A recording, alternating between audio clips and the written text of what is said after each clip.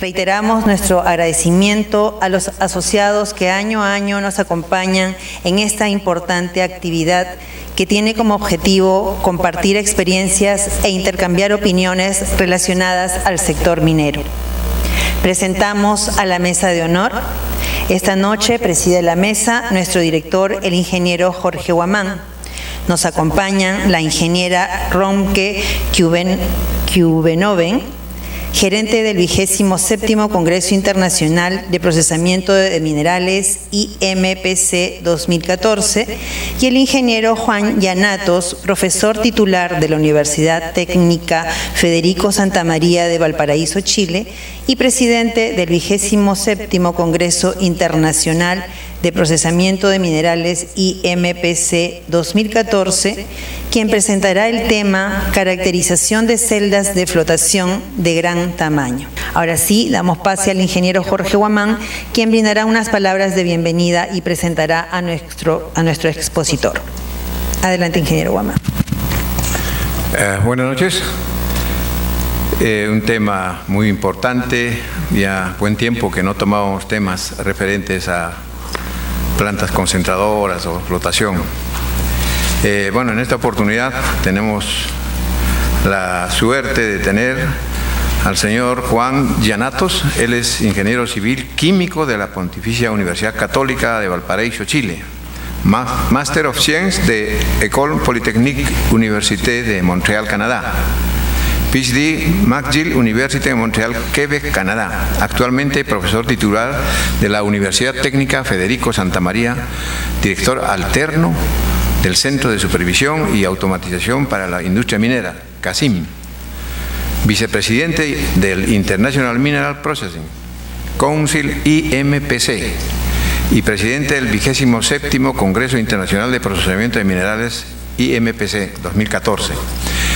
Como saben, es un tema importantísimo y esperamos pues que reiterando al pedido de nuestra maestra de ceremonias, eh, los celulares deben estar apagaditos, por favor, porque interrumpe la, conferencia. Ingeniero Llanatos, por favor. Muchas gracias, señor moderador.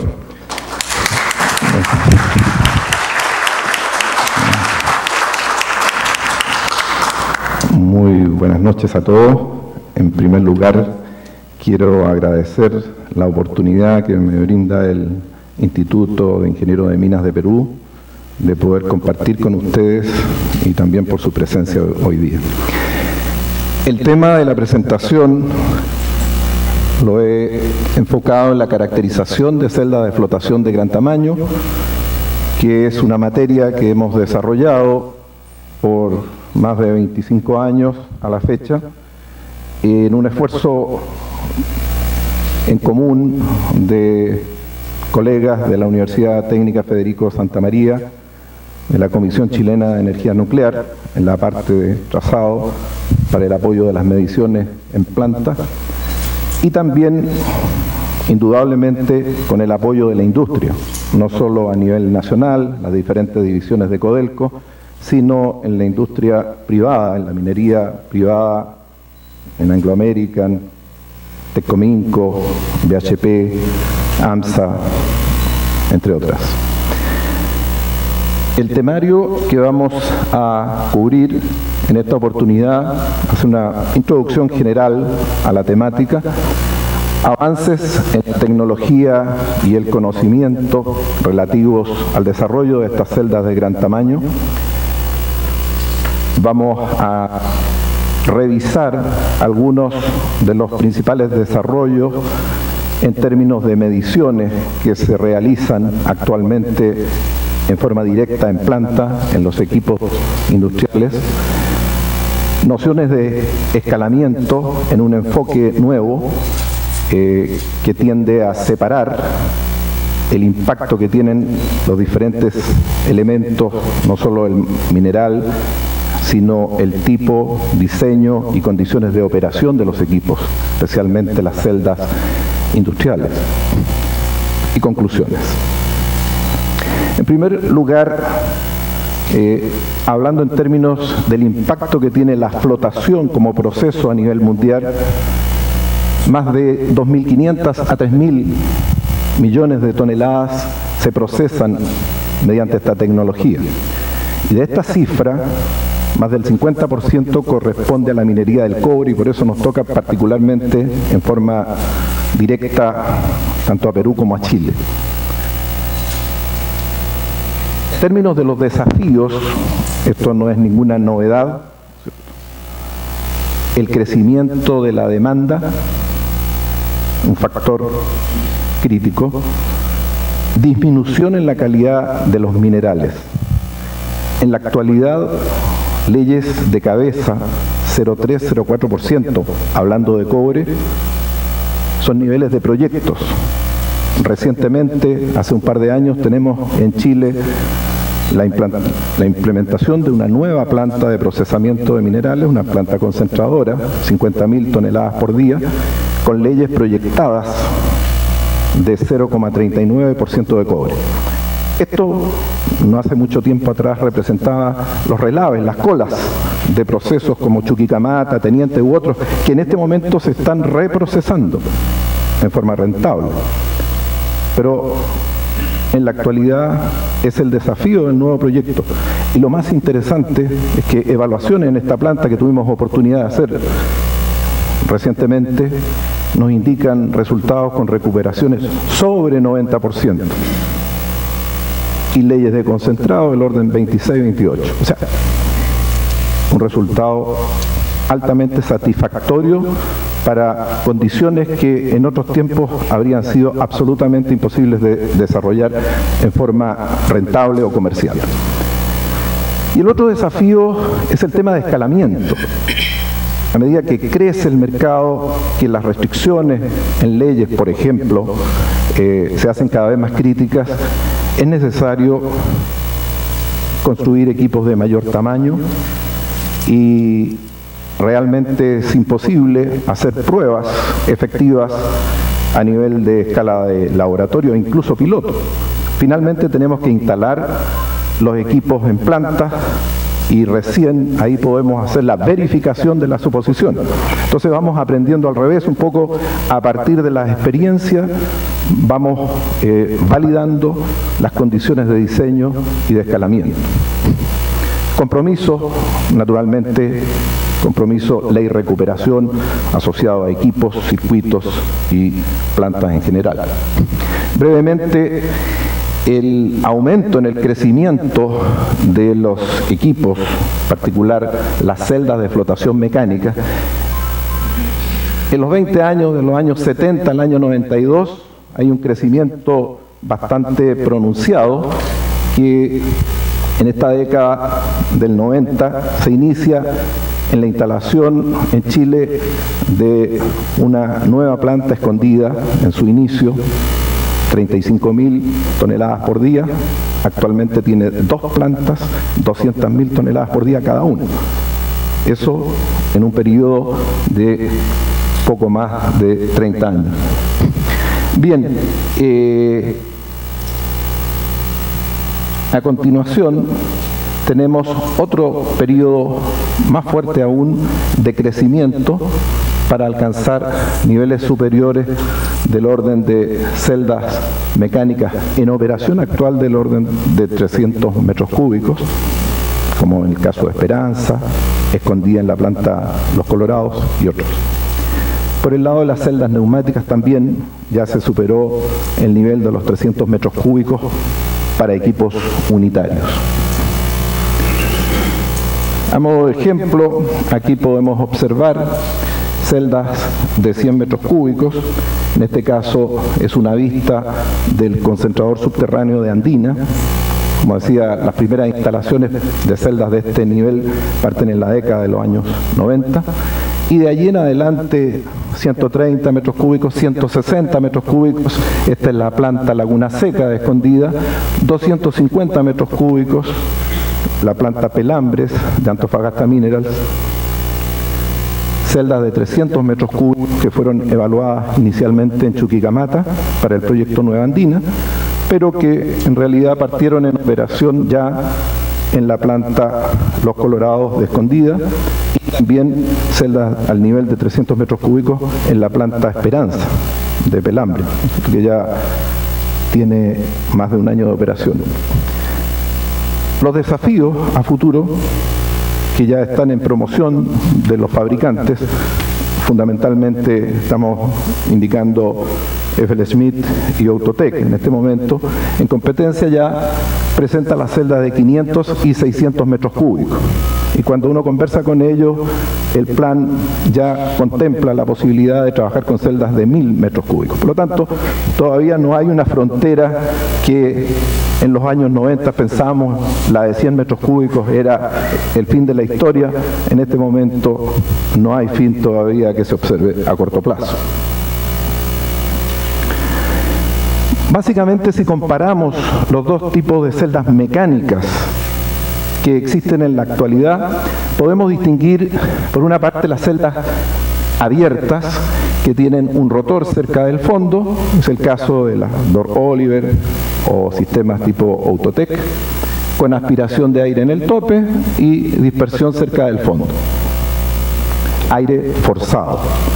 Y después está el otro tipo de celdas como las originales Wemco y otras, que poseen un eje a través del cual la pulpa es succionada para pasar por el rotor que está en la parte superior, está casi cerca del nivel de interfase, pero protegido por baffles y deflectores que evitan que se perturbe la interfaz. Entonces, en este caso hay una circulación de pulpa desde el fondo hacia el rotor y simultáneamente se produce la aspiración del aire desde el tope. Esto genera una situación de equilibrio, de tal modo que si ponemos el rotor más cerca del fondo vamos a tener más circulación, lo cual es beneficioso para el proceso de colección, pero vamos a reducir la aspiración de aire. Hay un compromiso. Las celdas actuales incluso han incorporado un rotor a nivel intermedio, pero con inyección de aire forzado. Son los desarrollos que en este momento están en el mercado. Desde el punto de vista de las celdas neumáticas, ya en la década de los años 60 aparecen las primeras ideas en la, en la era moderna de la flotación neumática y es a partir de la década del 80 donde encontramos las primeras aplicaciones comerciales en Gaspé, Mainz, en Canadá, eh, con uso de este tipo de tecnología que ha alcanzado su mayor aplicación en la parte de limpieza de minerales, gracias en particular a la adición de agua de lavado, que es una adición, entre comillas, inteligente del agua, en lugar de diluir la alimentación. Y por lo tanto se alcanzan niveles de leyes de concentrados superiores, una posibilidad de reducir significativamente el arrastre de gangas. En general, este tipo de sistemas operan con una dispersión de aire en el fondo a través de lanzas en la actualidad, que pueden ser multiorificio, orificio único, hay varias alternativas, y se asocia a un, proceso de tipo contracorriente. Pero contracorriente en el sentido de que la alimentación ingresa en la parte superior y se desplaza por gravedad hacia el fondo, en tanto que el gas disperso en forma de pequeñas burbujas, asciende. Ese, es el sentido. Originalmente la patente de Botanic Wheeler en los años 60 hacía referencia a este proceso contracorriente como una mejora desde el punto de vista de transferencia de masa en asociación a los procesos de ingeniería química. En realidad, en los circuitos industriales, como vamos a observar, el grado de mezcla al interior es más cercano a un mezclador perfecto tal modo que no existe exactamente esa situación de contracorriente, aquí, sino más bien vamos a tener una mezcla general del producto.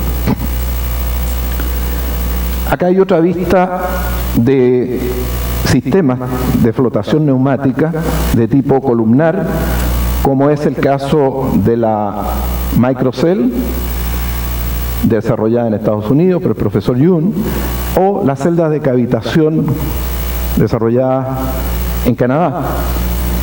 Este tipo de sistemas toman una fracción del relave, del material de fondo, y lo recirculan por bombeo a través de un inyector estático, caso de la microcell, o a través de un tubo de cavitación, como se observa acá, que es el caso de los sistemas de cavitación. Eso permite tener una dispersión bastante eficiente de las burbujas más pequeñas y en el caso de aplicaciones como las que se observa acá en Brasil, en el cual han tenido una amplia eh, aplicación comercial, han logrado aumentos notables en términos comparativos, aumentos notables de recuperación, 10-15% superiores para condiciones de leyes de concentrado similares. El otro tipo de celdas neumáticas que también ha ido gradualmente incorporándose al mercado es el tipo de celdas Jameson, por ejemplo, que consiste en un tubo descendente y en el cual se introduce la alimentación a través de una tobera y permite el ingreso del gas por aspiración. De esta forma se produce un vacío y hace que la pulpa ascienda hasta este punto donde se dispersa el aire también en pequeñas burbujas que son arrastradas hacia abajo en un ambiente de alta concentración de gas. También tiene la posibilidad de agregar agua de lavado. El otro tipo de celdas son las celdas originalmente del profesor Barr de Alemania, que después dieron origen a las ECO, la IMOF y actualmente las Gisel, que se aplican particularmente en el caso de la industria de Moli. Bien, eso es una breve introducción a las diferentes tecnologías que encontramos y naturalmente ustedes también conocen en las plantas, especialmente en aplicación cobre-moli, que es el caso particular en Chile, y para minerales más complejos, cobre, plomo, zinc, como los que existen acá en Perú. Vamos a ver a continuación brevemente algunos avances en términos de lo que es la tecnología y el conocimiento del proceso. Un elemento que aparece asociado al crecimiento en el tamaño de los equipos, originalmente por el lado de la flotación neumática, especialmente en el caso de columnas de flotación, es que el aumento del volumen para la capacidad del equipo no va en proporción al perímetro de descarga. Y eso hace que se incorporen los rebalses internos, originalmente en las celdas neumáticas y luego también en las celdas mecánicas. Rebalses, por ejemplo, de tipo radial, estas son celdas de 130 metros cúbicos en teniente, ahí se ve la descarga del material principalmente hacia los rebalses radiales. Acá tenemos un ejemplo de las celdas con sus rebalses interiores de 250 metros cúbicos de la operación Pelambres y acá abajo también una celda con rebalses radiales de 300 metros cúbicos en Esperanza, proyecto nuevo. Adicionalmente, el crecimiento de los equipos ha estado relacionado con una reducción en la potencia, el consumo de potencia específica, kilowatt por metro cúbico. Normalmente eh, los estándares tendían a hablar del orden de un kilowatt por metro cúbico, en la actualidad las celdas de mayor tamaño han alcanzado niveles inferiores, punto .9, .8, incluso se han reportado valores todavía menores. El otro tema es el transporte y descarga de espuma, de allí la necesidad de incorporar mayor perímetro de rebalse para mejorar la condición de descarga de la espuma y la recuperación global del proceso. Eh, se incorporan los aceleradores de espuma, el Frost Crowder, que es un cono invertido que está en la celda de gran tamaño y que tiene por función aumentar la velocidad lineal de descarga de la espuma. Normalmente, al referirnos al flujo de aire en los equipos, hablamos en términos del JG, velocidad lineal centímetros por segundo, normalmente del orden de 1, 1,5 centímetros por segundo, pero la generación, ya sea por aspiración o por inyección de gas, es bastante menor y al alcanzar el nivel de la espuma con la presencia del Frostcrowder podemos regular y tener niveles de descarga apropiados. O sea, la sección efectiva de espuma es normalmente del orden de un 50% del diámetro completo de la celda. Otro tema es que a mayor tamaño se ha reducido gradualmente el número de celdas ubicadas en serie en las filas o en los bancos de flotación. Y como vamos a ver a continuación acá, este también es un elemento importante al momento de hacer un nuevo sistema o un nuevo proyecto, porque pueden ver que para diferentes concentradores tenemos una variedad enorme en términos de arreglos, tanto número de celdas como eh, tipo de arreglos, si las celdas van de a dos en línea o de a tres, como en este caso.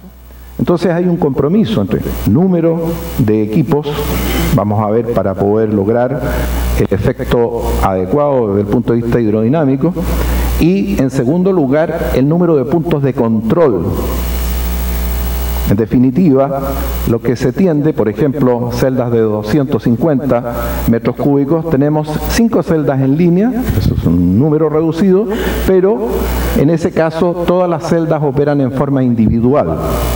Son unidades individuales con su correspondiente control, o sea, no perdemos puntos de control y como veremos más adelante con cinco celdas ya podemos reducir el efecto hidrodinámico para alcanzar recuperaciones sobre el 90% sin mayor problema.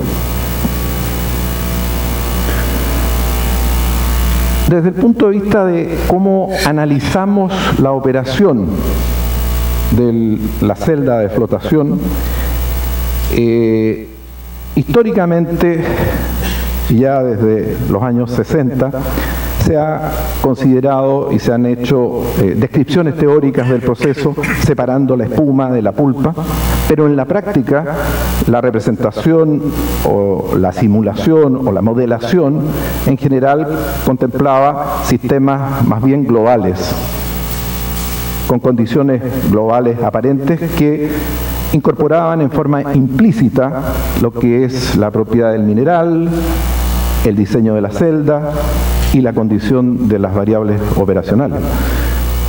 Y eso por una razón muy simple, porque no es fácil poder evaluar los flujos de transporte entre la zona de colección y la espuma. En el desarrollo de sistemas modernos de medición se ha podido hacer este tipo de mediciones, con lo cual ahora la forma de analizar los procesos nos permite separar lo que es la respuesta de la pulpa como tal, desde el punto de vista de recuperación, de lo que es el fenómeno de transporte de espuma.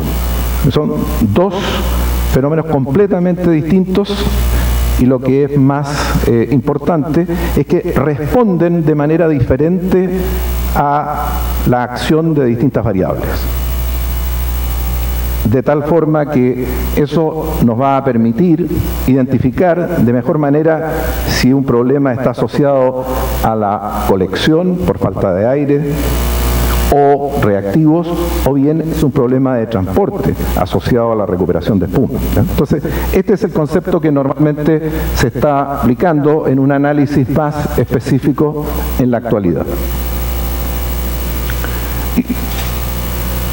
Por otra parte, en términos de modelación, no, voy a entrar a, analizar el, tema de, de las representaciones, pero en términos generales, quiero decir que el análisis por específico de la recuperación en la zona de colección, descartando el proceso de transporte de espuma, que es totalmente distinto y se rige por otros fenómenos, como recuperación de zona de colección se asocia a una respuesta de primer orden, que es la tradicional, es lo mismo que nosotros observamos en el batch, ¿no es cierto? Y que ya está conocido desde el año 1935, que fue la primera publicación reconociendo que la flotación es un sistema de primer orden, pero a su vez podemos asociarlo con las características del mineral a través de una constante cinética simple o una función de esta constante, podemos hacerlo más general en la medida que tenemos más información sobre tamaño de partículas, sobre liberación,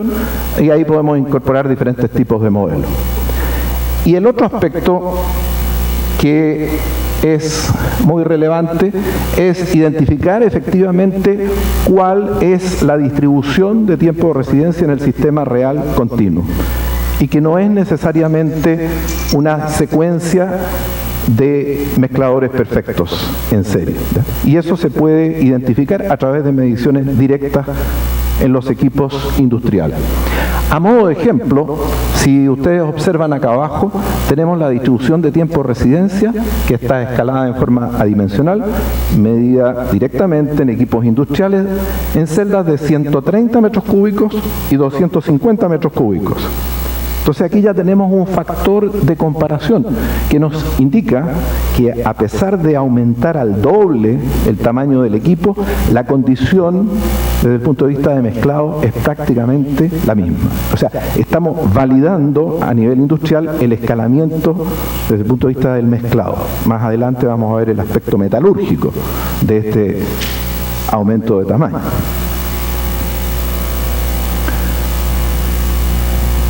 Asociado a la separación entre lo que es el proceso de colección y el transporte de espuma, podemos observar acá que vamos a tener flujos de transporte desde la pulpa donde colectamos el mineral con las burbujas, flujo de transporte de material que es el material valioso, el material que ha sido colectado se denomina el proceso de flotación verdadera, el true flotation, y que lleva el material hacia la espuma para su transporte al concentrado.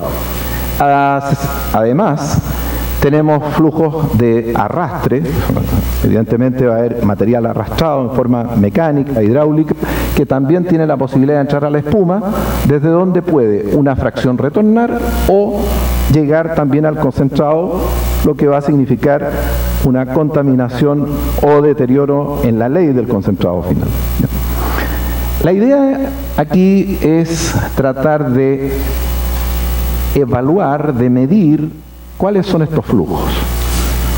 Por una parte, el flujo del material valioso colectado, lo vamos a asociar ese flujo, por ejemplo, toneladas por hora por metro cuadrado, lo vamos a asociar a un parámetro que vamos a llamar carga de burbuja, que es el mineral que está adherido a la burbuja, mineral que ha sido físicamente colectado por la burbuja y que entra a la espuma. Y eso multiplicado por el flujo de gas, que también vamos a medir, nos va a dar entonces ese flujo de material que está entrando a la espuma. Si combinamos el flujo que está entrando a la espuma por flotación verdadera con el balance global que nos da la cantidad de material al concentrado, podemos determinar directamente en planta la recuperación de espuma. Veamos entonces cómo es posible hacer este tipo de mediciones y observar este tipo de parámetros en la operación industrial.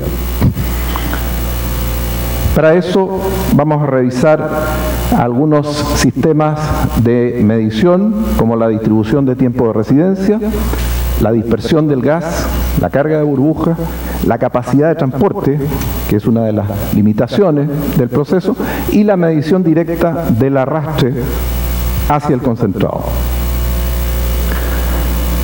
El tipo de información que vamos a analizar corresponde a datos de celdas mecánicas, tanto de tipo autoaspirante como de aire forzado, en un rango de tamaños que va desde los 10 metros cúbicos hasta los 300 metros cúbicos.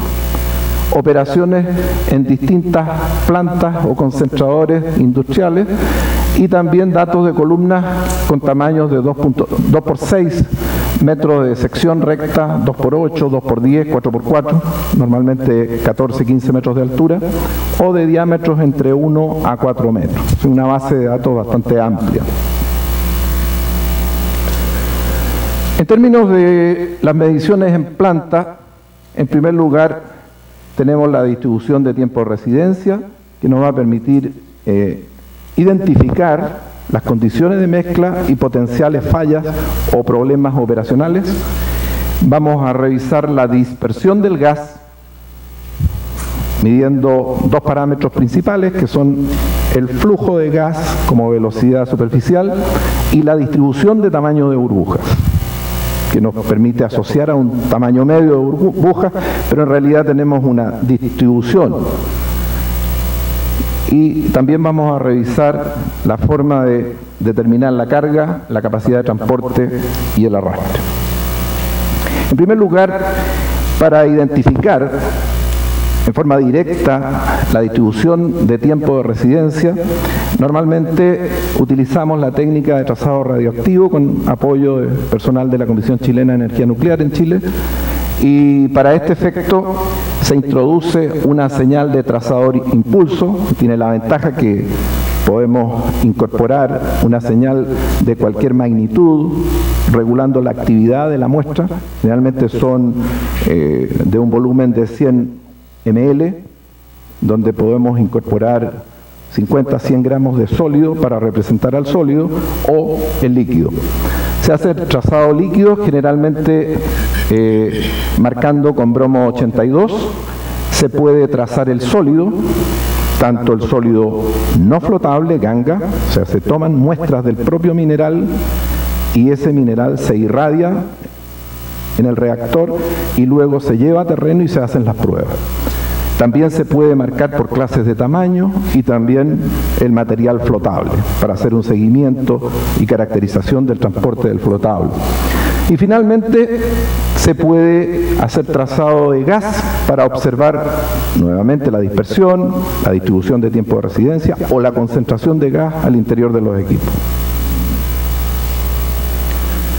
Aquí tenemos una muestra, esta es una línea en teniente siete celdas de 130 metros cúbicos en serie, se inyecta el trazador y tenemos la posibilidad de medir el paso del trazador en forma directa en línea y de manera no invasiva. Los detectores se ubican fuera de los puntos de conexión.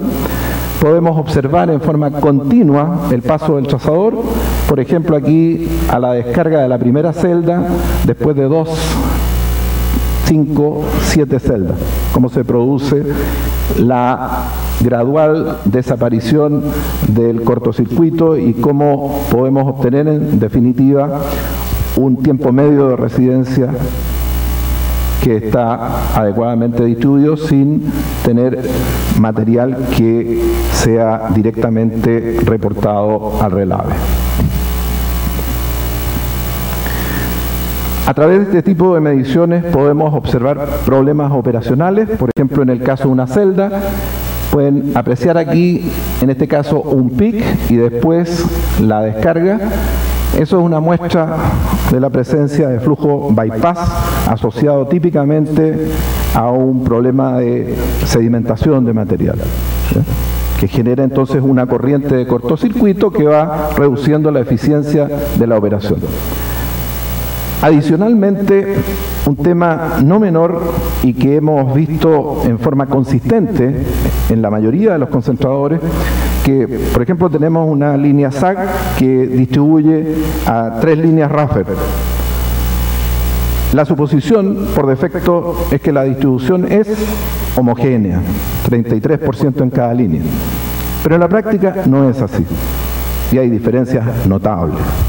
O sea, dos líneas scavenger, por ejemplo, paralelas, una con 60%, la otra con 40% de tiempo, o equivalente a flujos diferentes. Esto es una situación bastante común y que naturalmente va a afectar el control y la regulación del proceso. El otro tipo de desviaciones de la idealidad con la cual suponemos que operan los sistemas en principio para hacer su análisis, es el tema de la segregación del sólido. El sólido permanece un tiempo distinto al de la pulpa o al del líquido. Es un tiempo normalmente inferior, que en promedio es del orden de un 90-95%, como promedio. Pero si lo vemos por clase de tamaño, materiales de más de 100, 150 micrones ya tienen tiempo de residencia que son inferiores al 80% del tiempo de residencia del líquido. Nuevamente, este es un aspecto que es relevante al momento de hacer la caracterización del circuito, al momento de pensar en potenciales problemas, por ejemplo, de embanques. Desde el punto de vista de la caracterización del flujo de gas al interior de los equipos, se realizaron pruebas, en este caso en particular, en celdas de circulación con aire autoaspirante, para lo cual se inyectó el trazador gaseoso en la entrada del gas y se pudo apreciar con sensores en distintas ubicaciones al interior de la celda, en la salida de relaves y en la descarga superior, que es donde vamos a tener obviamente la salida del gas, la parte superior de la celda. Ustedes pueden ver acá en el diagrama cómo la distribución de salida del gas tiene una forma asociada muy directamente a lo que es el mezclado en la zona de colección para la pulpa.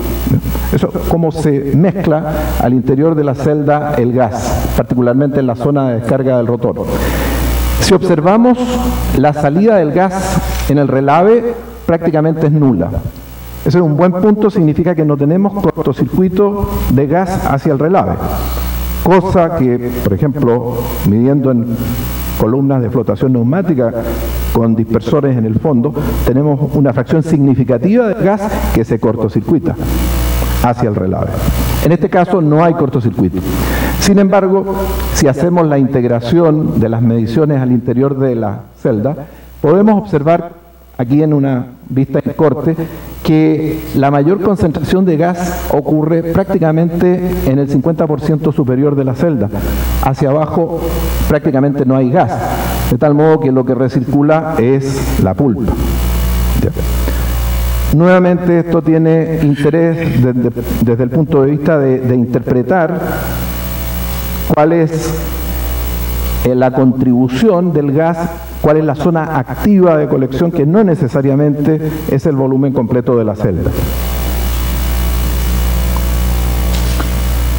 Otro tipo de observaciones ha sido el relativo al tiempo de transporte del material desde la interfase hacia la descarga de concentrado. Y en esto distinguimos el material de ganga, que es el material que se va a recuperar por arrastre, y a, través de este tipo de mediciones con podemos ver que los tiempos de transporte en la espuma de la ganga varían en torno a 9 a 11 promedio del orden de 11 segundos, lo que nos indica que el arrastre ocurre preferencialmente en una zona muy cercana a la pared del labio de rebalse. O sea, no tenemos arrastre que se va a desplazar a través de toda la superficie de interfase, sino muy cercano al nivel de rebalse. Por el contrario, si observamos el tiempo medio de residencia del flotable, es más del doble. O sea, el transporte del material que está efectivamente colectado tiene una estabilidad muy superior y puede llegar desde distancias mucho más lejanas hasta el nivel de rebalse. Evidentemente que esto igual tiene un deterioro y por eso que es necesario reducir la distancia con la incorporación de los rebalses internos. En el caso del líquido, los tiempos medios son intermedios entre el flotable y la ganga. El otro tipo de mediciones directas está asociado a las mediciones de arrastre, nuevamente haciendo uso de trazadores al interior de celdas de gran tamaño, se observó la fracción de material reportada al concentrado comparado con la fracción de material reportada a los relaves. Haciendo uso de técnicas de medición eh, con cortes para obtener el aspecto cuantitativo y en forma continua, para tener en forma cualitativa la distribución, se pudo evaluar la cantidad de material reportado a las colas comparado con, la con el material, la fracción que se recupera por arrastre y eso entonces nos lleva a poder construir este tipo de curvas que normalmente se conocen pero a escala de laboratorio. Estos son resultados medidos en celdas de gran tamaño donde tenemos recuperación de ganga versus recuperación de agua para distintas clases de tamaño. También podemos relacionar la recuperación de agua o la recuperación másica al concentrado, el split de masa al concentrado, con respecto a la altura de espuma y naturalmente la ley que va a tener un efecto contrario a medida que aumenta la recuperación de agua, va a disminuir la ley por el aumento de arrastre. Todo esto se puede correlacionar en forma generalizada en este tipo de funciones, donde los parámetros se ajustan para cada operación y nos permiten entonces hacer una representación predictiva para los fenómenos de arrastre.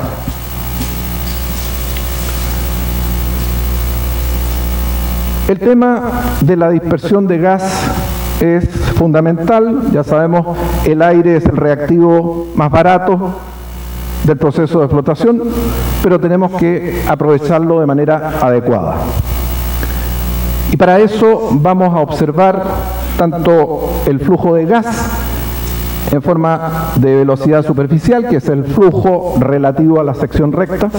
La ventaja de trabajar con este parámetro es que podemos comparar exactamente de la misma forma una operación a escala batch de laboratorio y la operación de la celda de 300 metros cúbicos bajo la misma base. Necesitamos un rango que está acotado, estamos hablando niveles de 0,5, máximo 2 centímetros por segundo, para poder construir la interfase. Si no tenemos una interfase distintiva, no vamos a poder separar. O sea, no basta colectar, tenemos que separar, tenemos que crear una interfase para el transporte. Entonces, este parámetro pasa a ser clave. En segundo lugar, el tamaño medio de burbujas, normalmente se usa el tamaño Soter, que es una relación volumen-superficie, y que representa en forma ponderada lo que es la distribución. El equipo que generalmente se usa es el visor de burbujas desarrollado en la Universidad de McGill en Canadá, al cual ahí ustedes pueden ver, es un tubo que succiona una muestra de burbujas y se hace una filmación y un análisis eh, de imágenes para obtener las características promedio.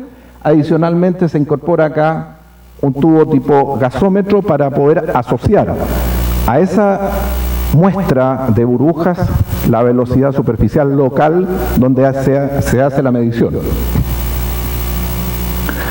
Esto es una observación normal en una planta, se aprecian las burbujas y hay diferentes software. Nosotros hemos desarrollado un software en la universidad, pero también existen otros software comerciales para poder encontrar la forma de distribución. Esto se puede modelar, generalmente son curvas log normal que se comportan bastante bien. Cuando la situación es normal, pero también se pueden observar situaciones anormales con doble pic o presencia de burbujas de gran tamaño por problemas ya sea de reactivos o problemas de diseño u obstrucción en la misma celda. Normalmente cuando hablamos de tamaño de burbuja a nivel interfase, 1 a 2 milímetros. Más bajo que eso vamos a entrar en problemas para generar la interfase, podemos inundar. Por lo tanto, no vamos a tener una operación con burbujas de micrones, de 100 micrones, 200 micrones. Eso puede ser en el punto de generación, pero para poder separar tenemos que estar en este rango. Por otra parte, eh, si tenemos burbujas muy grandes, vamos a empezar a tener problemas mayores de arrastre y pérdida de capacidad de transporte.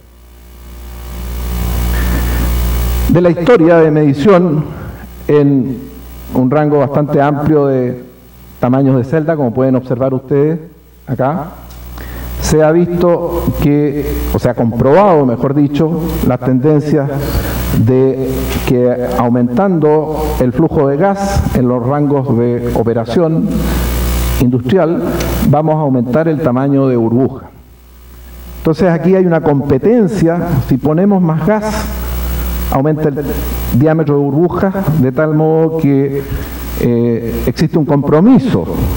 No se trata simplemente de aumentar el gas para acelerar, porque no estamos mejorando desde el punto de vista de colección. Normalmente la capacidad de superficie de transporte se mide con este parámetro que es el SB, que es el flujo de superficie de burbuja, metros cuadrados por hora por metro cuadrado de columna. Es una forma estándar de referir a la superficie de burbuja creada y que se puede medir directamente a través de la velocidad superficial de gas y el diámetro de burbuja. Entonces, ¿qué ocurre? Por ejemplo, acá tenemos un banco de celdas en Chuquicamata que tiene una variación de velocidad superficial de gas de 1,2 hasta 2 a través del banco, lo que genera un aumento en el diámetro de burbuja, pero en definitiva no cambia el SB. O sea, independiente que trabajemos a 1,2 o a 2, la cantidad de superficie, que es el medio de colección y transporte, es la misma. Sin embargo, pueden haber otras ventajas de trabajar con flujos menores, con burbujas más pequeñas, y o ventajas de trabajar con flujos mayores, para reducir, por ejemplo, el tiempo de transporte de la espuma. Entonces, nuevamente, eh, no se trata simplemente de aumentar el gas, sino que hay un compromiso entre gas y generación de burbujas para tener la dispersión más apropiada. Medición de carga de burbuja. Este es un tema que se ha desarrollado en los últimos 10 años, originado en la Universidad de Witwatersrand en Sudáfrica, eh, posteriormente en el JK en Australia, se trabajó a mediados de los años 90 y en la década de los 2000 eh, trabajamos junto al profesor Mois en la Universidad de Santa María y hemos perfeccionado un equipo que es el que permite tomar muestras de la zona de colección en que se combina la obtención de una muestra de gas con su carga de mineral. Ahí se pueden observar las burbujas cargadas de mineral que son colectadas en una cámara en terreno y luego se puede analizar y conocer cuál es el material que efectivamente ha sido colectado y que está entrando a la espuma, independiente del tema de arrastre. Sería el caso de hacer un muestreo de concentrado. Entonces podemos saber cuál es la ley, cuál es la distribución de tamaño de partículas, incluso cuál es el grado de liberación, ahora con análisis modernos, ChemScan o MLA, etcétera.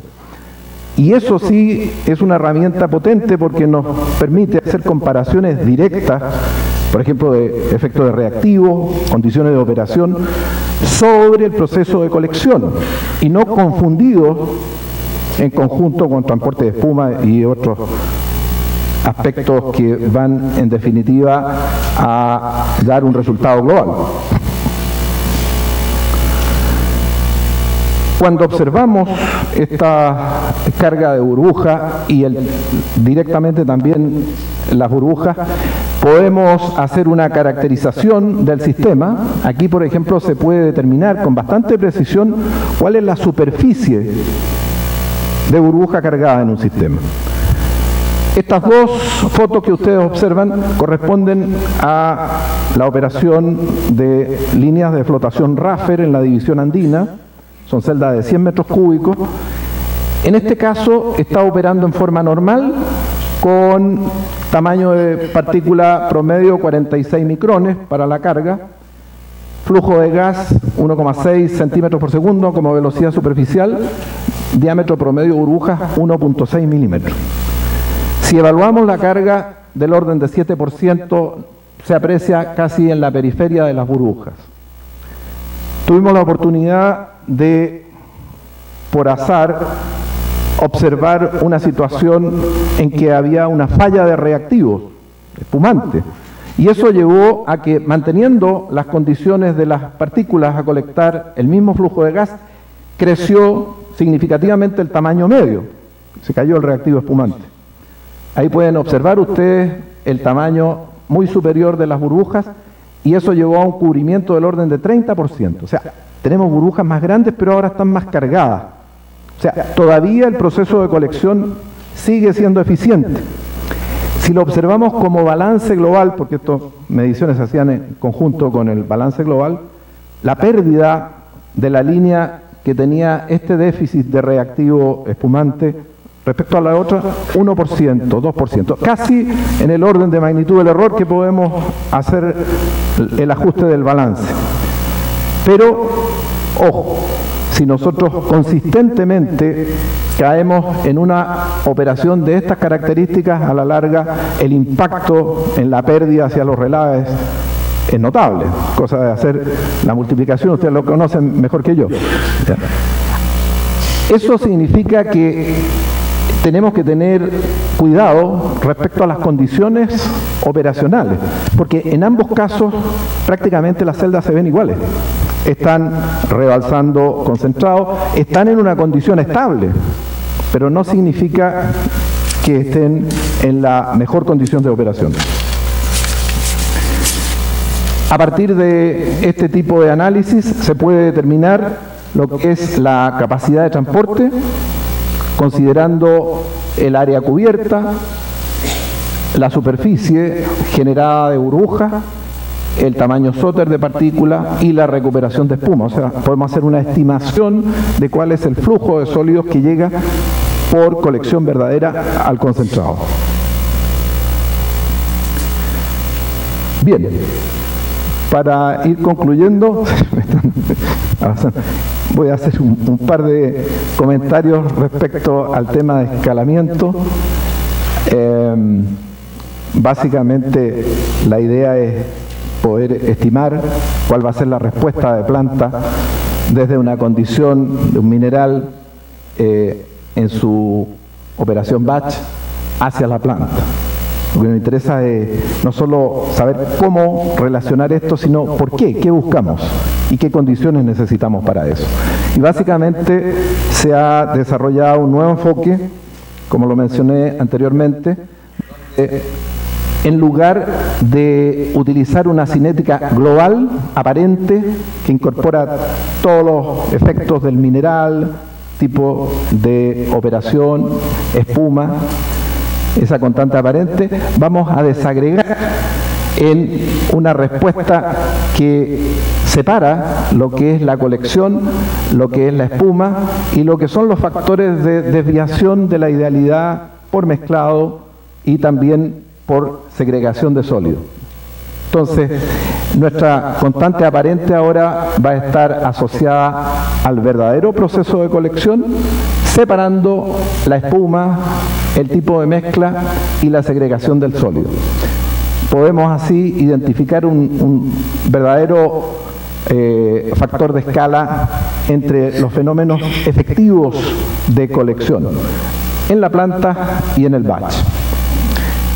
Voy a saltar brevemente para ver en términos del impacto que esto tiene a través de un caso de estudio, proyecto Nueva Andina, que hicimos evaluaciones en celdas de 100 metros cúbicos, de 160 metros cúbicos y de 300 metros cúbicos. Vamos a comparar las de 160 y 300. Voy a ir directamente a los resultados. Se hace la caracterización metalúrgica, se evalúan los parámetros, espuma, parámetros de mezcla, segregación de sólidos. Y en resumen podemos ver que la constante cinética batch, la tasa de flotación, la velocidad de flotación pura en el caso de una experiencia batch, relativa a la constante global aparente de la planta, se puede ahora desagregar en un efecto espuma, que es el más importante, del orden del 50%, el régimen de mezcla, 11%, segregación de sólido y ya llegamos a un factor de escala del 34%. O sea, ya tenemos más del 70% identificado que no está asociado a un tema de escalamiento de la cinética, sino son las condiciones operacionales y esencialmente el transporte espuma. Si además nosotros relacionamos estas condiciones de escala para la celda de 300 y de 160 y las corregimos por el factor SB, podemos llegar a demostrar que en ambas celdas de 300 metros cúbicos, de 160 metros cúbicos, la eficiencia de colección es similar. Recuerden ustedes que ya habíamos demostrado que las condiciones de mezcla en el escalamiento, prácticamente 1 a 2, aumento al doble del tamaño, eran similares. Ahora podemos demostrar que desde el punto de vista colectivo, estas son celdas de aire forzado, vamos de 160 a 300, no estamos deteriorando lo que es la eficiencia de colección. Eso no quita que haya problemas de transporte espuma y otros. Pero la idea es poder desagregar el efecto de las distintas variables. Con esto se puede realizar escalamiento, en este caso para el proyecto Nueva Andina, ver la posibilidad de construir una planta con celdas de 300 versus celdas de 160. Se puede simular condiciones de operación, por ejemplo, variar los niveles a través de un banco, cuál es el impacto en el resultado global, tanto en recuperación como en ley.